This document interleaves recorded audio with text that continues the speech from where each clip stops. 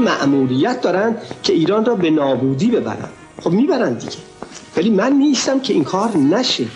اگر که بنا باشه. بوی خیانت از زهر دروغ و طمع و زور و اهانت این قوم نکردند به ناموس برادر. چه بیتابانه میخواهمت ای دوریت آزمون تلخ زنده به گوری.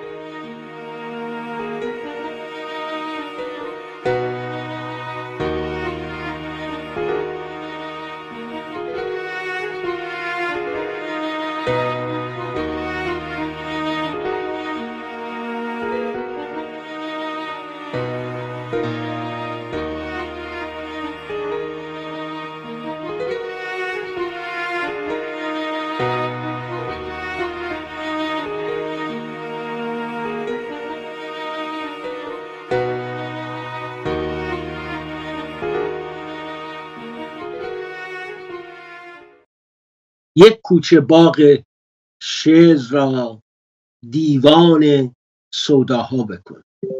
فرمود مولانای من رو سوی دریاها بکن. در پنجه های اهرمن می گفت با ما این سخن ابلیس را فرمان بده در کوه و دشت و در چمن. محراب ما دوزخ سرا. هر روی آن نقش خدا. بیدار شد تا بشنوی آوازخان کبریا. تا عرش اعلا آمدی با شور و قوقا آمدی. بیدار کردی تا مرا از خواب ناز سرمد ای دست آوازی بخوان در صبح نیلوفر نشان سوسن به جامت مایه کن یاسی بیفشان روی آن. نوروز می آید بخوان از روزهای عاشقان. صبح است پر کن ساقیا همراه شو تا بیکران. علیرضا نوریزاده سهشنبه شانزدهم ماه مارس مارچ بیست و ششم اسفند. فقط چهار روزه شنبه صبح عید است. صبح ساقیا قدهی پر شراب. بله آقایون می‌خواستن نوروز بین ببرن می‌خواستن نوروز و نابود ما عید نداریم. من حقا حقا شگفتی زده شدم از صحبت های شاهزاده رضا پهلوی و بارها در جلسات خصوصی این بحث شده بود. با هم نرسیم گفته آقا چجوری من خودم رو تحمیل می‌خوام بکنم به مردم؟ مردم که انتخاب می‌کنم خب اگر من و وظیفم رو در حد پادشاه مشروطه خواستم خواهم جور دیگه خواستن خواهم بود. نخواستن بازم خواهم بود در کنار من. ولی اینجا خیلی حرف جدی زده در جمع طرفدارانش. و به اعتقاد من این حرف رو ساده نباید گرفت. این حرف در برابر رژیم جهل و جور و فساده که یک رهبر تحمیدی رو می‌ذارن مادام العمر. بعدم آقازادش رو می‌خواد بده. زدی اینجا تو پوزشون. منی که. ولی عهد قانونی کشور بود. پدرم و پدر بزرگم پادشاه بودن. آمادم در نقش رئیس جمهوری خدمت کنم. خیلی حالشون رو گرفته. حال سید علی آقا دار دسته شما فکر کنید یه آدم دروغگوی شارلاتان میاد. هشت سال میشه رئیس جمهوری. پدر مملکت در میاد. اون طرف هم یه ولی فقیه چل سال سی سی و دو سال نشسته بازم می‌خواد بشین بعدم آقازاده شد. سلطان و پادشاه و امپراتور مگه غیر از اینه چه فرقی می‌کنه؟ ولی پادشاه مشروطه غیر از این خیلی به نظر من حرفاش قابل تحمل بود و باید درود بهش فرستاد. به خاطر این روشنندیشی و سیاست. همین حرفاشو بشنویم. هم در مهر ماه امسال و در قالب پیمان نوین گفتگوی تازه را با هدف یافتن راه حلی فراگیر برای نجات ایران آغاز کردیم.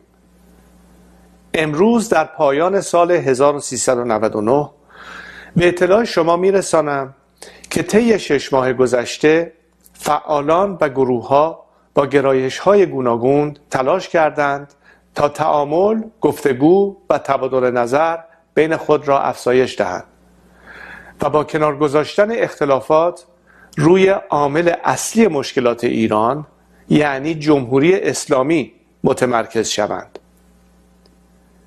پیمان نوین دعوتی بود از همه شهروندان تا با قبول مسئولیت فردی برای رهایی کشور تلاش کنند.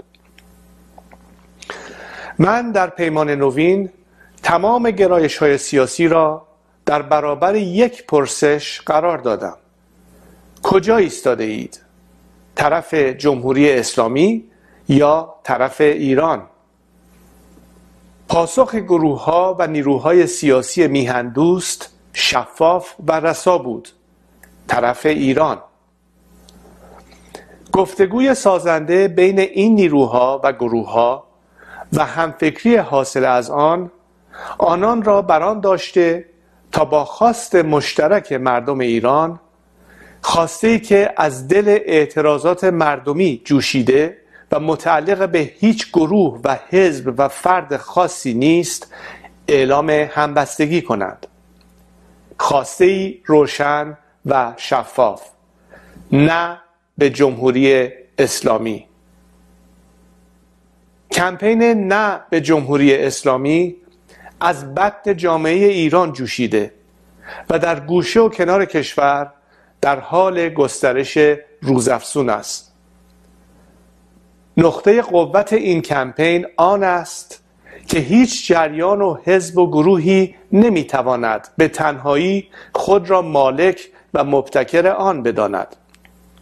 از این رو نیروها و گروه های سیاسی گوناگون با تمرکز بر این خواسته ملی می توانند راه را برای رسیدن به یک همگرایی فراگیر بگشایند و طیف های مختلف و فعال را به یکدیگر نزدیکتر کنند. امروز از کولبران کردستان تا سوختبران سیستان و بلوچستان از جوانان و دانشجویان تا کارگران کارخانه ها و بازنشستگان از خانواده های دادخواه تا معترضان زندانی دی 96 و آبان 98 همگی ریشه مشکلات خود را در یک جا می بینند حکومت بیکفایت و ناکارآمد جمهوری اسلامی. نه به جمهوری اسلامی حلقه وصل همه معترضان پراکنده است که می‌دانند حل مشکلاتشان تنها با رفتن این حکومت میسر می شود کلید موفقیت کمپین نه به جمهوری اسلامی و تبدیل شدن آن به جنبشی ملی و فراگیر تمرکز روی خواست اصلی و وحدت بخش آن است. شکل نظام آینده قانون اساسی آن و قانونگذاران و مجریان قانون را مردم ایران که صاحبان اصلی آن هستند انتخاب خواهند کرد. اولویت امروز باید نجات و رهایی ایران باشد. هر کدام شما امروز می توانید با بکارگیری روش های نوین و مبتکرانه در فضای مجازی و واقعی پیام این کمپین را فراگیر کنید. اطلاع رسانی درباره کمپین را از اعضای خانواده و دوستان نزدیک و مورد اعتماد خود شروع کنید و پیام کمپین را به گروه های کوچک دوستی و خانوادگی در شبکه های اجتماعی ببرید و در محیط های کاری و دانشجویی سینه به سینه منتقل کنید تا این حرکت خودجوش به تدریج به یک جنبش نی بزرگ علیه جمهوری اسلامی تبدیل شود.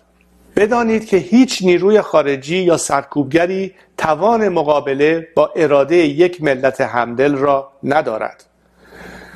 بدانید که با همدلی و همبستگی رسیدن به فردایی روشن و عبور از این فصل تاریک و پرمشقت ممکن است.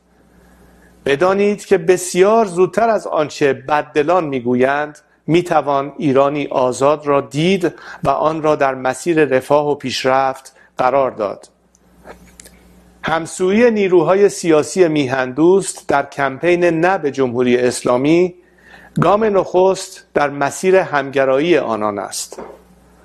امیدوارم که این نیروها از این فرصت به بهترین شکل استفاده کنند و گام های بعدی را برای رسیدن به هدف اصلی که همان نجات ایران است مصممتر بردارند. من به خوبی می‌دانم که هیچ خانواده ایرانی نیست که به شکلی قربانی این رژیم مافیایی نشده باشد. هیچ خانواده ایرانی نیست که هزینه نداده باشد. من به خوبی از رنج و مشکلات و جنایاتی که در این چهل و دو سال متحمل شده اید آگاهم و همدرد شما هستم. این رژیم فردی از خانواده و شماری از همراهان من را نیز به قتل رسانده است. من نیز از این همه ظلم و جنایت بیزارم. خواسته مشترک همه ما روشن است. نه به تبعیض و بیعدالتی نه به زور و اجبار نه به فساد و دزدی نه به سرکوب و کشتار نه به تاریکی و تباهی نه به سکوت و بیتفاوتی نه به صندوقهای انتخابات قلابی و نه به جمهوری اسلامی. به جمهوری اسلامی نه به جمهوری اسلامی. بله. شاهزاده در یک نشست با دوستانش با یارانش باز این مسائل رو اشاره می‌کنه و تاکیدش روی اینکه آ فکر کنید بنده دنبال پادشاهی هم. این داستان رو نگاه کنید داریم می‌بینیم دیگه. سیدعلی خامنه ای بدتر از هر پادشاهی در تاریخ ایران ظلم کرده. استبداد ورزیده. حقوق مردم رو زیر پا گذاشته. به زن ایرانی بیحرمتی کرده. هست دیگه. خب شاهزاده میگه نباید تکرار بشه.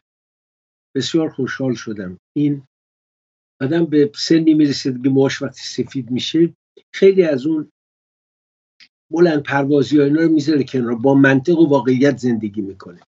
و بسیار جالب. و همینجا همینجا در واقع می‌خوام به ایرادی که نازنین دوست عزیز و مورد احترام آقای دکتر حسین موسویان به برنامه چالش گرفته بودن. خب متوجه شخصی منم می‌شد که ایشون خیلی محبت کرده بود.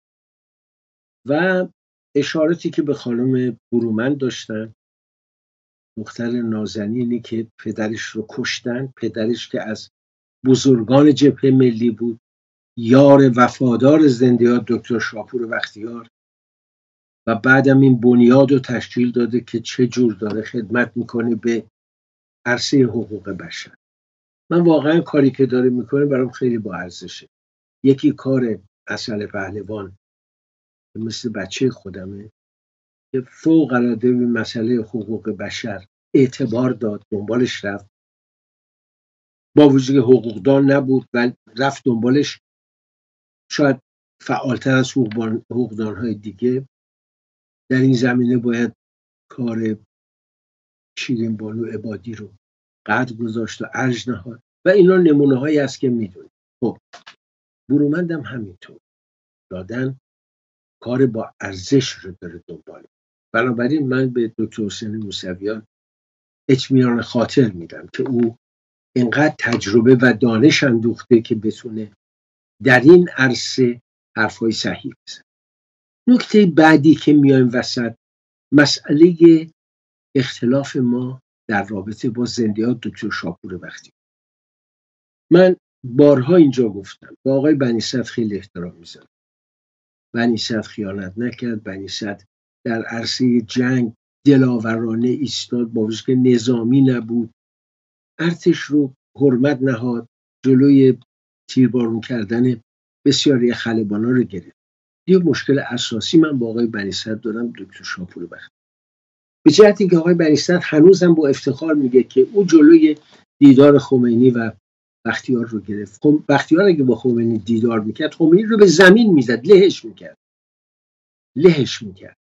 اگه سه ماه وقت داشت و دوستان جبهه ملی به یاریش می اومدن نه اینکه خنجر از پشت بزن ظاهرا در جمعی که به نام جبهه ملی در ایران فعالیت می‌کنن این اختلاف هنوز مشهود.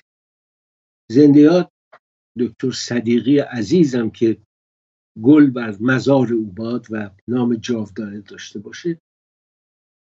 با من در تماس مستقیم و مرتبط خیلی هم به من لطف داشته. وقتی من آخرین روزهای شاه رو تو امید ایران می نوشتم یک روز همسر گرامیشون رو برای فرستادن دفتر من و نوشتن که شما اینجا اشاره به دیدار منو پادشاه کردید من هرگز به پادشاه بی حرمتی نمی کردم و با پادشاه با ادب صحبت می کردم در این حال بختیار مورد تأیید من بود و هست و یکی از وطن پرسترین اعضای جبهه ملی بود و زنده دکتر مصدق بسیار به او علاقه داشت و همینطور بزرگان دیگری که او رو دوست داشتند و آزادانه آزادمنشی و شخصیت او رو میسود خب حالا ممکن آقای دکتر حسین موسویان در این زمینه نقطه نظرهای دیگری داشته باشن. ولی آنچه من در مورد دبیر سابق جبهه ملی گفتم اشتباه نگفتم. اسناد تاریخی دارم می‌تونم رو کنم تمامش شد کتابی که ایشون به سید علی آقا دادن ارتباط کتابی و آنتیک که با ایشون داشتن. من از زمانی که دانشکده بودم دخترشون هم دانشکده بود و از زمانی که بودم به ایشون ارادت داشتم خیلی هم دوستش داشتم شعراشم بسیار دوست داشتم. ولی این دلیل نمیشه که ایشون در مقام رهبر جبهه ملی کار درستی کرد. نه اصلا. اصلا کار درستی نکرد. زنده دکتر آقای فروهر به پاریس که اومده بود یه روز سر این مسئله بحث کرد. آقا پدر ما رو در آورده این آقا. ما در هر عرصه می‌خوایم بریم جلو ایشون میگه نه الان مناسب نه الان درست نیست. با وجودی که من اومدم بیرون از جبهه ملی ارتباط تشکیلاتی ندارم اما در عرصه هایی هست ما می‌خوایم با هم کار کنیم. همین مسئله از خسروخان سیف من شنیدم. در این حال وقتی من میگم خسروخان سیف باید باشه به خاطر این شیرمرد در همون ماجرای قتل کارداجین شده فروهرها وقتی خسروخان اعلامیه رو داد اون 700 نفر زیرش امضا گذاشتن. پس هنوز پیر دیره هنوز اون چهره است که بازمانده اون بزرگانی که جبهه ملی رو علیرغم همه فشارها دیر سالی نگه داشت من اگر ایسا خان خاتمی رو میارم و بهش حرمت می‌گذارم به خاطر اینکه ایسا خان مظهری از اون چیزایی هست که من در وجود حسن خان سارم کلالی می‌دیدم اون مرد بزرگ که جاش چقدر خالی. خراسان اسفراین حسن خان در خراسان از بزرگان بود و همینطور ایسا خان بنابراین اینهایی رو که من میگم روی این عشقی است. عشقی که توی وجود این انسان ها انباشته شده در من. از زمانی که بچه بودم توی جلالیه دست در دست پدرم و وقتی دکتر بختیار صحبت کرد پدرم عشق ماشین فروخر را نمیفتاد هول دادیم اومدیم. از اون زمان. از اون زمان این مهر و عشق که در وجود پدرم بود و من نسبت به جبهه ملی بوده و هست. اون تو جبهه ملی که وفادار به شاپور بختی جبهه ملی که توش خسروی زعیم هست. جبهه ملی که ایساخان حاتمی توش هست. دکتر حسین موسویان توش هست. حتی تلاش بکنیم خسروخان سیف هم برگرده به عنوان پیر ده پیر قوم دکتر باون توش هست. این جبهه ملی رو برپا کنیم که یک سرش در فرانسه مهندس هوشنگ کردستان. در انگلیس دکتر عبدالکریم انواری هست. ببینید اینها انسان هایی هستن که نباید همینجوری انکارشون کرد کنار گذاشت. من همیشه در زندگی کاریم احتمالا همه شماها این رو حداقل توی سال هم حس کرد سعی می‌کنم به جای حب و بغض و کینه ورزی اون عدالت قلم رو رعایت بارها شما از من مثلا ایراد گرفتی. آقا تو چرا به قدرت گفتی مرحوم؟ برای اینکه من حیاتم رو مرهون او هستم. انقدر انسانیت دارم که یادم خود شده با همه ایرادایی که بهش می‌گیرم منو نجات. من تونستم از ایران خارج بشم.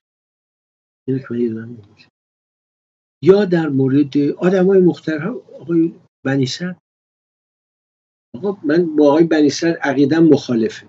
او جمهوری اسلامی رو می‌خواست من نمی‌خوام. ولی یادم نره که او چه کارم کرد. در اوج تنگ دستی شاید بگم. حاضر نشد زیر بار رجوی بره. حاضر نشد همدست او بشه بره قصر صدام. گفت نه اومد تو خیابون جا نداشت. دختر نازنینش فیروز خانم جدا شد. برای که حاضر نبود یه مردک جلنبر بیاد به پدرش توهین کنه. به همه اونایی که دوست داشته میشناخته توهین بکنه. خیلی اینو با... نباید بزنیم به حساب که آقا نوریزادی داره از بنی صدم حمایت می‌کنه. نه دارم نقاط رو میگم ضعف و نقاط قوت رو. این رو رعایت کنیم. آقا بنده آقای دکتر ابراهیم رزی رو عاشقش نبودم دوستش هم نداشتم. اما اون شب بودم در مدرسه علوی. تنها روزنامه نگاری هم که شهر اون شب نوشته تالا. آقای خلخالی سی نفر یا سی دو نفر محکوم به مرگ کرده بود.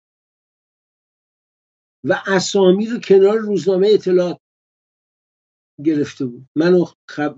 عکاس روزنامه که رفته بودیم چند روزنامه دستمون بود دادیم به اینا. اینم یکشو گرفت. آقای دکتر یزدی یازده شب برداشت اینا رو برد خونه خمینی. یعنی برد اندرونی چون می‌تونست بره.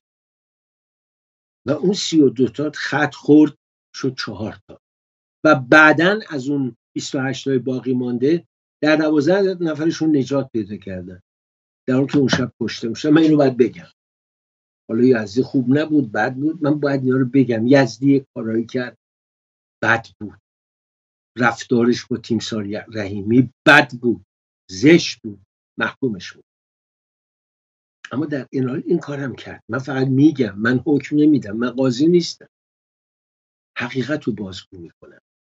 آنچه را شاهدش بودم و دیدم. میگم برام. حداقل خانواده تعدادی از اون افرادی که اعدام نشدن سپاسمند او بودن. اعدام نشد. اونایی هم که اعدام شدن خشمگینن از و لعنتش کرد هر دو رو باید هر دو. در طول انقلاب اتفاقای عجیب غریبی افتاد. ما شاهد خیلی چیزا بود باز من اینجا براتون گفتم. نه پسر خاله منه نه باهاش ارتباطی دارم نه دوست منه نه. اما تو جریانشم. آقای صادق خرازی بسیاری از بلند پایگان وزارت خارجه رو سفرا رو که رژیم جهل و جور و فساد همون اول ریخته بود بیرون تصفیهشون کرده بود. ایشون رفت پرونده هاشون رو بازبینی کرد و حقوقشون رو برقرار ساخت. و اینو باید بگم. حالا میگن آقا عتیقه بازی خب باش. با من که عتیقه بازی نگه یا از من که پول نگرفت یا پول من که نخورده کار خودشو بکنه عتیقه چه بهتر یه نفر اونجا بره چهار تا عتیقه جمع بکنه. کار شهبان و فرح رو حداقل تقدیر کنه. نره پولا رو توی آقازادش رو مثل صبحانی صرف عیاشی و کسافت کاری بکنه من میگم من صادق تبا تبایی رو ازش چیزایی دیدم که همیشه میگم. تاریخ خواهد نوشت من الان مجاز نیستم که همه رو بگم ولی اون تقریص ها و حاشیه های جلد چهارم خاطراتش به زودی بیرون خواهد اومد. خواهید این آدم چه کرد؟ اینا رو همیشه بگیم یادمون باشه. ما در واقع حدیث نیک و بد ما نوشته خواهد شد. حالا ما هرچی هم بگیم نوشته خواهد شد. زمانه را قلم و دفتری و دیوی است. این یادم و نکته که می‌خوام به آقای دکتر موسویان اشاره کنم استاد عزیز من شما دیدید رضا پهلوی نواده رضا شاست پسر محمد رضا شاه تا 18 سالگیش هم ولیعهد قانونی ایران. این آدم امروز میاد میگه آقا جمهوری رو من بیشتر تو ذهنم میپسندم. من این یه نفر تا آخر عمر شاه بشه یا بمونه بعدم بچهش بشه چرا؟ حتی اگر نظام پادشاهی هم فکر می‌کنه انتخابی بهش فکر می‌کنه. مثل مالزی هشت تا پادشاه داره. هر چهار سال یه بار یکشون پادشاه خب حالا هر اتفاقی بعدم بیفته من از جبهه ملی هم همینو می‌خوام همین انتظار رو دارم. آقا بعد از این همه سال ما هنوز هر سال 28 مرداد که داره میاد هفتش روز این ور هفتش روز اون ور جد آباد شاه رو یکی می‌کنیم و مظلوم واقع میشیم همه ما و شاه ظالم. آقا باید همه اون مسائل رو بررسی کرد.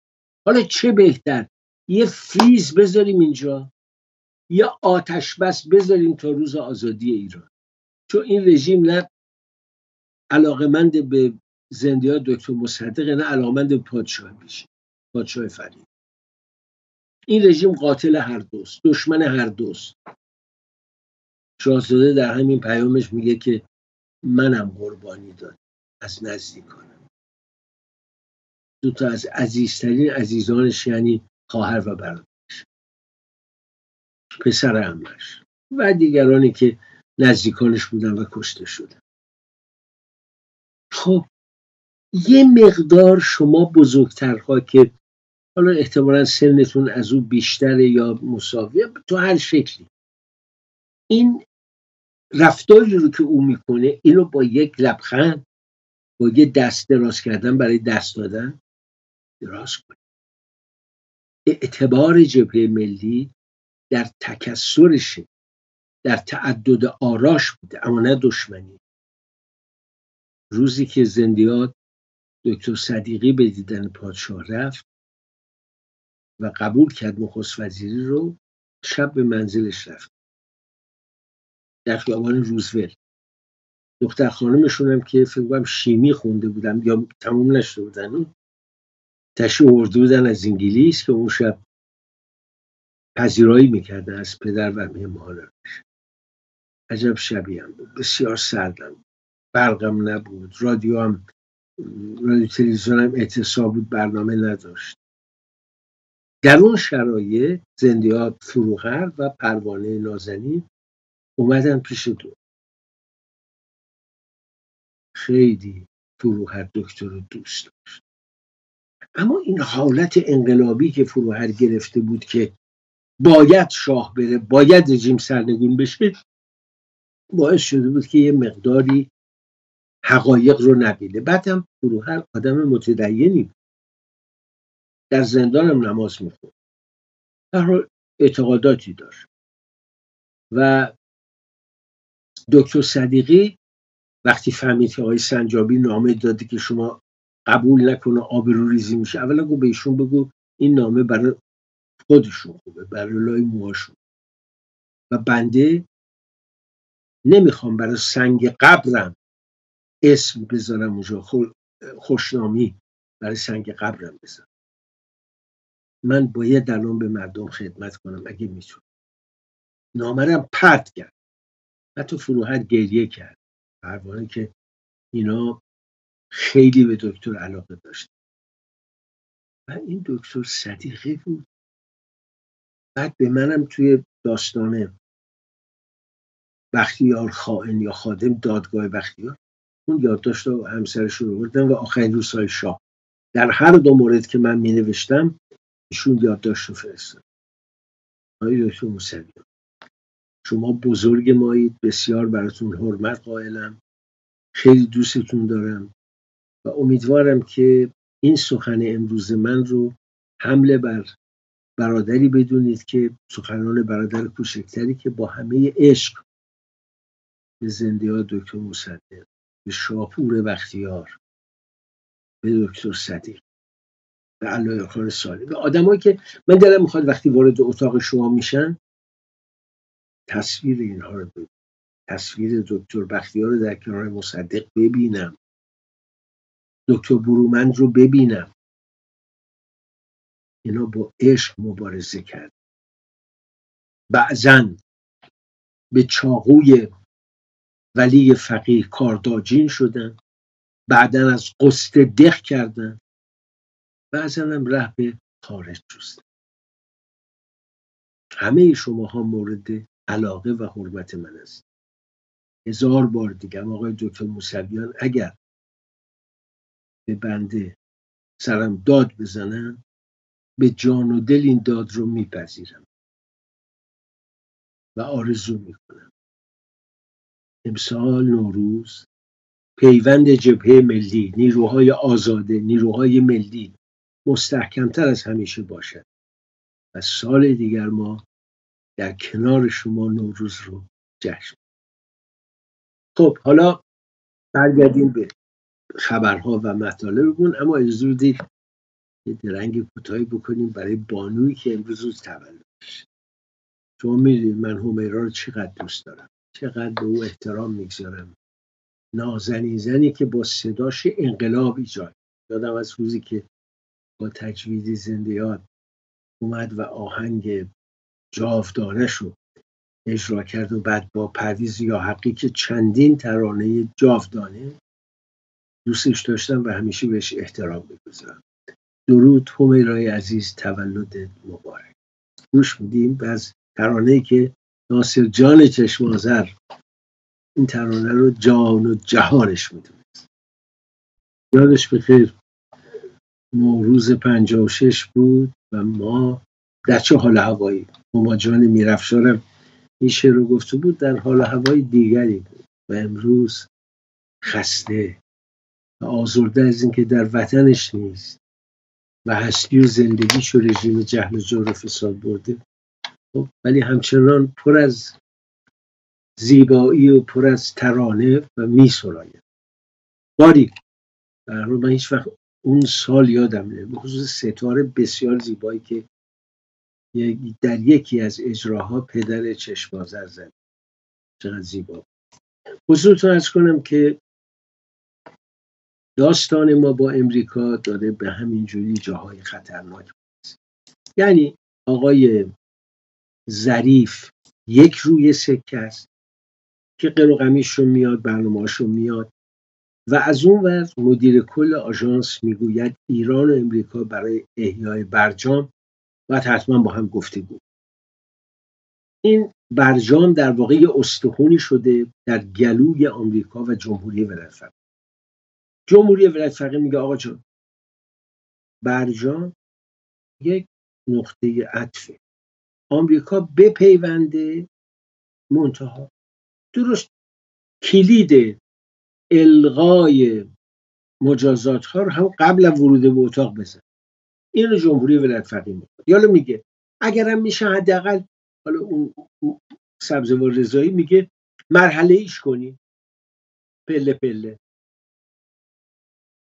آقای جو بایدن تحت فشار کنگره نمی‌تونه این کار رو بکنه. گویم که دلش می‌خواد. کاملا مشخص که او دلش می‌خواست دو هفته این ماجرا کرکشو بکن راحت شه. ولی نمی‌تونه. میان جلو لابی بسیار قدرتمند اسرائیل. در برابر لابی جمهوری اسلامی یقشون میگه آقا چیکار داری می‌کنی؟ این رژیم دنبال سلاح هسته ایست الان رفته آقای فرمانده سپاه و رئیس ستاد باز از انبارهای زیرزمینی موشکا دیدن کرد. آیا شما تا حالا دیدید که آمریکا بیاد انبار زیرزمینی موشکش رو نشون بده؟ یا عربستان نشون بده؟ یا عراق؟ یا هر کشور دیگر؟ یا مصر؟ نه. شما اگر انبار زیرزمینی موشکم دارید این برای حفظ سیانت کشور و سیانت و حفظ حاکمیت ملی ملته. نمایش نیست که شما دقیقه به دقیقه نمایش می‌دید آقا این سجیله این 2002 متر پرواز می‌کنه میره. این قدر دو 2035 متر میره. هیچ کدوم هم بالای 2000 نمیره خب رژیمی که با فتوشاپ نمایش موشک پرتاب کنیش رو میده رژیمی که اسرائیل می‌تونه بیاد پنجاه هزار داکومنتش رو ورداره تو سه ساعت چهار ساعت ببره. این رژیم تمام اساسش روی دروغ استوار. همین بلایی که سر مردم سر کرونا آوردن. آخه شما در چه قالب انسانیت می‌تونید رو بپذیرید یک جای تحقیقی در یک مجله علمی و بعد در یک دانشگاه. حالا اومده گفته این واکسن آکسفورد ممکنه باعث لختگی خون بشه. سازمان بهداشت جهانی گفته علکی هم چیزی نیست. همون تعدادی که قبل از کرونا لخته می‌شد خونشون الان میشه برای حرف مزخرف. اما دولت ها که مسئول می‌دونن خودشون در برابر ملت من بگم خودم آکسفورد زد مسئول می‌دونن بلا فاصله مثل فرانسه آلمان متوقف می‌کنه تحقیقشون کامل میشه دوره از سر. این میشه دولت مسئول. در دولت جمهوری ولایت فقیه. مقام معظم رهبری اهل بیت خانواده. آقای میزلی اکبر طبیب حضور ولایتی وحید خان عدادیان این امثال این جانورا اینا همه واکسن آمریکاییشو می‌زنن. فایزر می‌زنن خیالشون هم راحت. خوب. سر گنده میانن میشینن دیگه این ماسکم ور میدارن. اون عکسای پوستر آقای خامنه‌ای رو ببینید. ور میدارن چرا؟ چون خیالشون جمع شد. اما برای ملت نه حرام است. چون این آمریکای شیطان بزرگ این دکتر دیوونهشون هم تایید کرده این میگه که آقا جان در این واکسن یه دوایی میریزن غیرت اسلامی و عشق به خمینی و خامنه ای رو از جسم و جان بیرون بود این دکتر روانی رواسانی هم گفته در حال خب این دولت غیر مسئول. الان در مورد برنامه اتمی هم اینا بعد این رو بدونن. تمام این رقص و اطفارا و بازیهایی که دارن در میارن آقای بایدن نمی‌تونه این کارو بکنه. نه اینکه نمی‌خواد صد درصد می‌خواد صد درصد. ولی نمی‌تونه این کار آقای رافائل گروسی مدیر کل آژانس بینالمللی انرژی اتمی میگه آقا باید با سرعت معجزه آسایی همین فردا طرفین به توافق برسن. موضوعات زیادی وجود دارد که باید حل شود. گروسی خب به ایران اومده سفر کرده و با مسئولان هم گفتگو کرده. به هیچ وجه اعتماد به رژیم نداره. گزارش مفتش هم که دستش اومده شک و بیشتر و بیشتر می‌کنه. که رژیم در فکر چیست؟ چه تدارکی داره میده چه برنامه داره می‌بینه؟ این بسیار خطرناک. اینه که حالا به نوعی داره هشدار میده.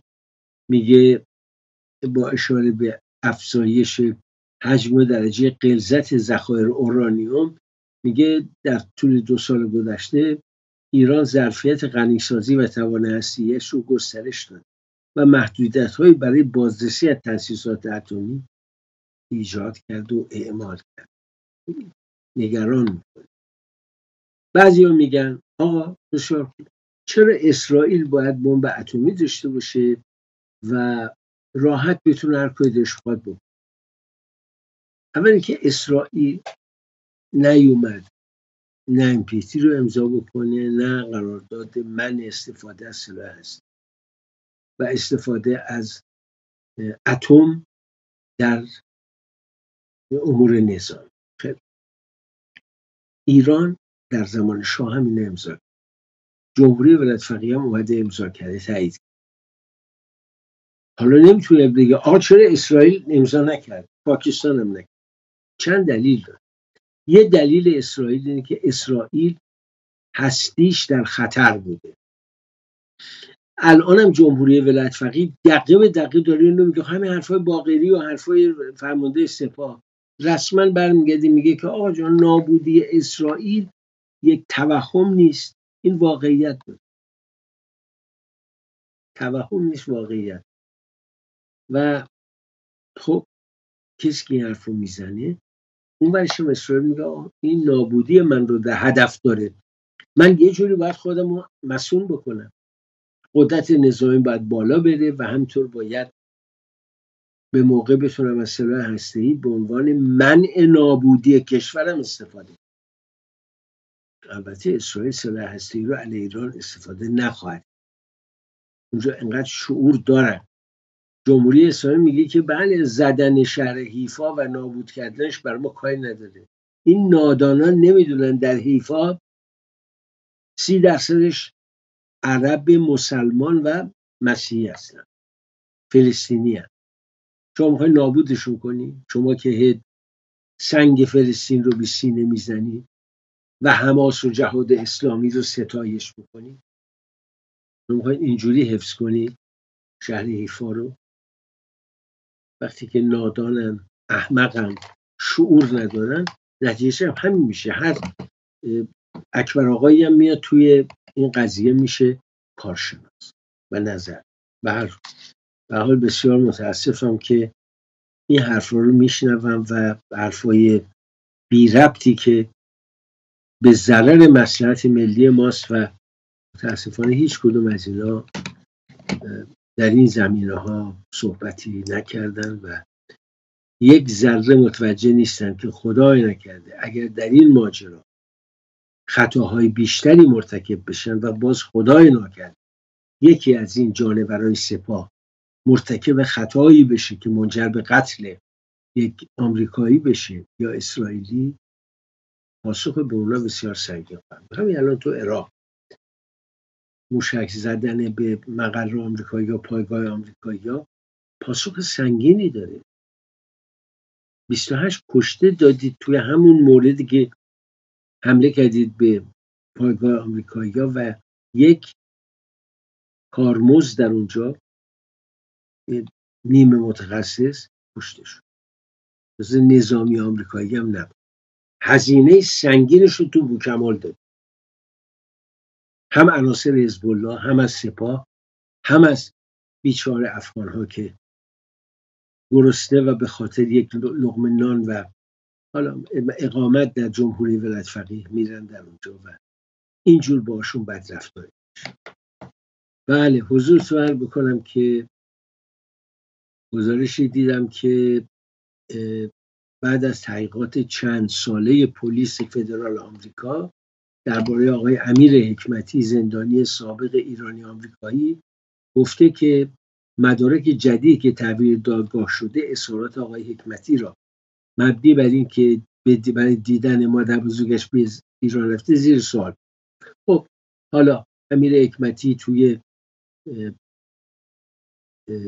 مارین بوده توی نیروی تفنگدار دریایی بوده به ایران رفته در افغانستان بوده.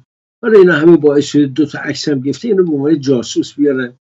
ولی وقتی که یه همچی خبری تو آسوشیتد پرس میاد بیرون.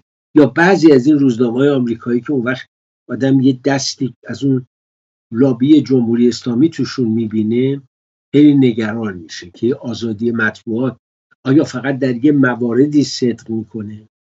امیری که میره تو زندان شکنجه میشه اون بلا رو سرش میارن حالا دارین جمهوری اسلامی رو تبرئه می‌کنیم مگه برای خانم زاغری هم این کارو خانم زاغری رو عملا اومدن متهم کردن. به خاطر حرفای یک نادانی که در مقام وزیر خارجه نشسته من متاسفم اینا امتیاز دادن به جمهوری اسلامی است. بلا امیر حکمتی چه جاسوسی می‌خواسته بکنه که آمریکا نتونه بکنه. با یه ستولایت که گفتم رنگ پیژامتون رو می‌دونن. احتیاج نیست امیر حکمتی یا خانم زاغری بره برای شما جاسوسی بکنه.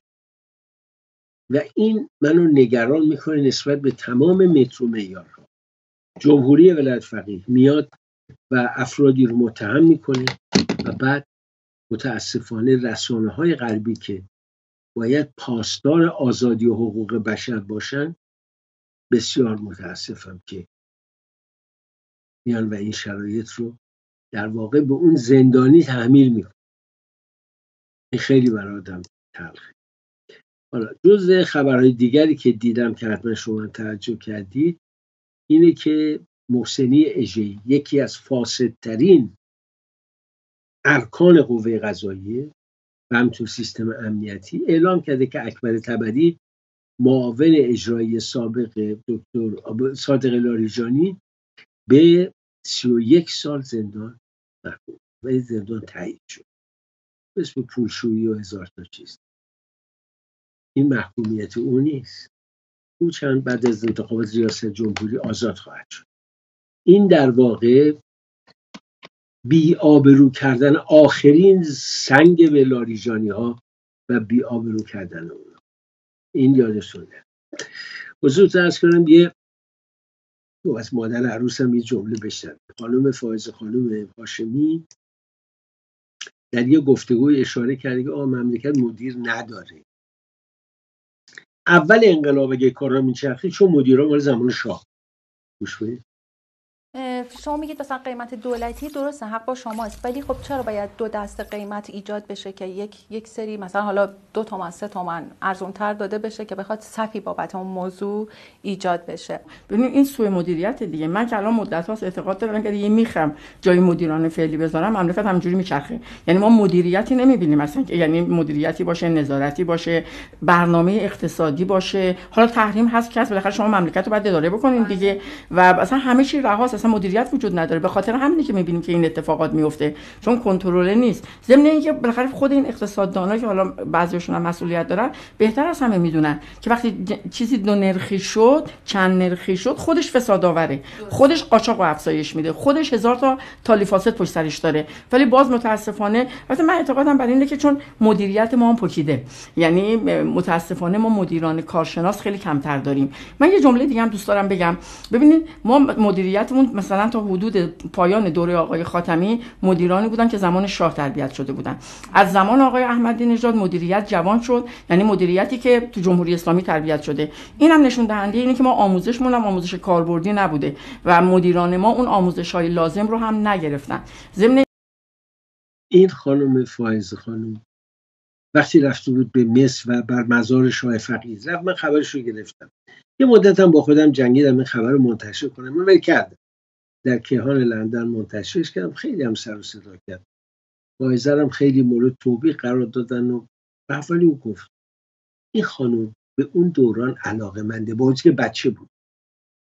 از مادرش شنید خودش دیده و دیدند چه بلایی پدرش و دیگران بر سر این کشور آوردن با این انقلاب لعنت همین به نظر من خیلی خوبه که این اعتراف رو از زبان او میشنم اما یه چیزی هم براتون بگم راجع به افزایش هزینه های تکان دهنده مجلس و ناکارآمدی نمایندگان. بگذارید در پایان برنامه اینم براتون پخش یعنی هیچ تصوری از حوزه اولویت های تقنینی نداره. این یک در مورد این بحث اصلا نماینده های تازه وارد یه دوره کارآموزی میگذرونن آره دقیقاً. اتفاقا مجلس اصلا جای کارآموزی نیست. اصلا.